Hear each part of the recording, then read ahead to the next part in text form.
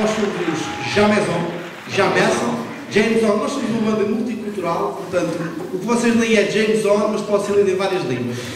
Portanto, como já disse, temos o, o James On, temos os Jamaison em francês, os Jameson em brasileiro e por aí adiante, o Tinhangué, mandarim.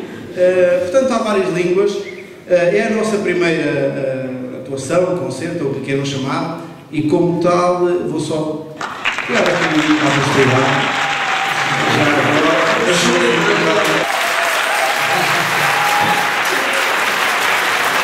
Obrigado. Mas não sei está mesmo muito melhor. E já não, se tivesse alguém a ouvir, era o ar-condicionado. Isto não está fácil. Aí embaixo é muito melhor.